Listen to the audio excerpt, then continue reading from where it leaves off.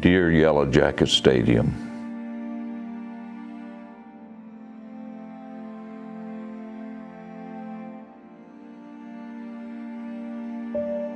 For the past 72 years, we've called you our home.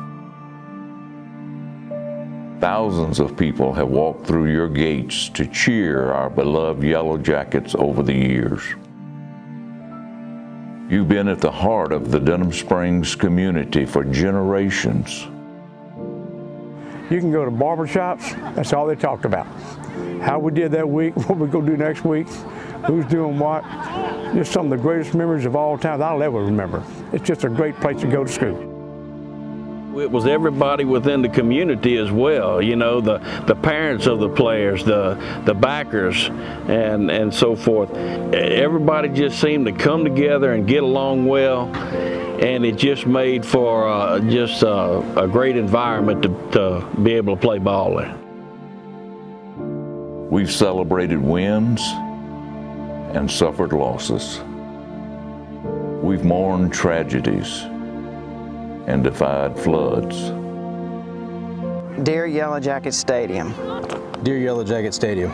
Dear Yellow Jacket Stadium. Dear Yellow Jacket Stadium.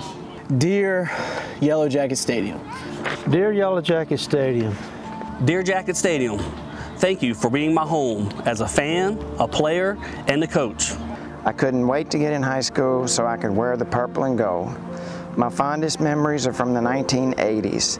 What a place it would be on Friday nights. It was my dream to get back here under the lights, in this community and around this campus. I consider myself one of the luckiest men alive because I wake up every day loving what I do, being back at the place where I became a man and learned to truly play this great game. I remember as a youngster watching the games long before I was in high school, waiting for my turn to be out there. Some think of you as just a field and bleachers, but to me, you're much more than that.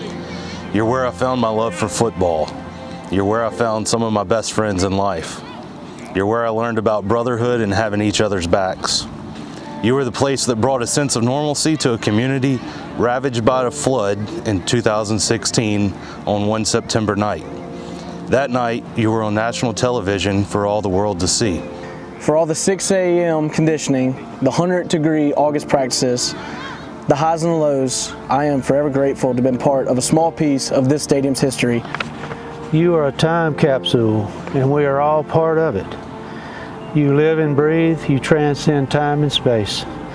You're a place where young boys dream, young girls swoon, and young men in their prime give every bit of their strength, effort, and courage for the honor of representing Denham Springs High School football. Although everything about you is about to change, all jackets know it wasn't the metal bleachers, the grass field, or the brick walls that made you home.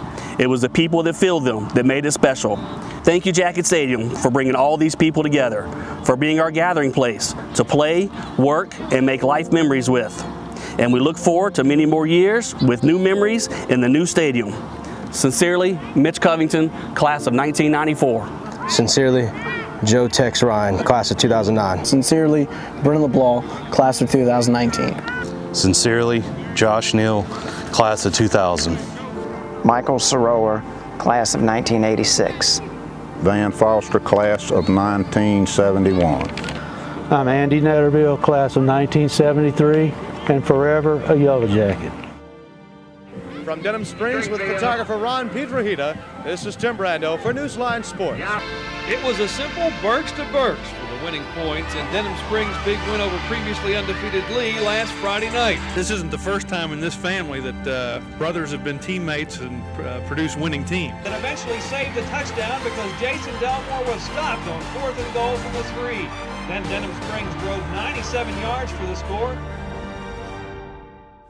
As we recognize our past, we look forward eagerly to our future, knowing that the best days in Denham Springs are ahead of us. The soil isn't changing. The foundation built here will never go away. Dear Yellow Jacket Stadium. Dear Yellow Jacket Stadium. Dear Yellow Jacket Stadium. Dear Yellow Jacket Stadium. Dear Yellow Jacket Stadium. A football field to some, but home to many. Through the highs and lows, this place always seems to be my protection, my comfort, and my place of safety. You have watched me grow into the man I am today, and because of you, I am that man. You have taught me many lessons about life. Thank you for the memories that will forever be with me. Thank you for the countless hours spent grinding, the laughs, the tears, the good times, and the bad. As the last couple years have gone by, we've had new coaches, a program rebuild, natural disasters, pandemics, losing seasons, ridicule, disrespect, and even a death of a teammate and a coach. But through it all, we have persevered. No matter what happened, good or bad, Yellow Jacket Stadium was always here for us and those who came before us. Thank you for the memories and loved ones that you brought to us, all the good and bad times. From the outside looking in, physically, this stadium may not seem as much. But deep down, Yellow Jacket Stadium carries an unbearable amount of heart and passion. From being little kids not being able to wait for us to play under those Friday night lights, to playing the last one ever. Thank you, Yellow Jacket Stadium, for giving me a second home, a second family, and friendships that will last a lifetime.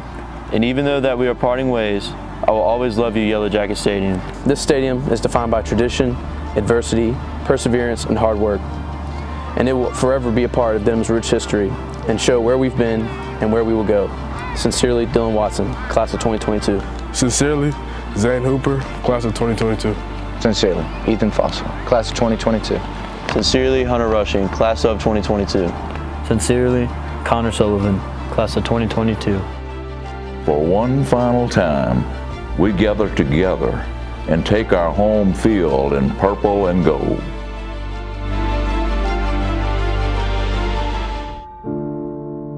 Dear Yellow Jacket Stadium, thank you for all the memories.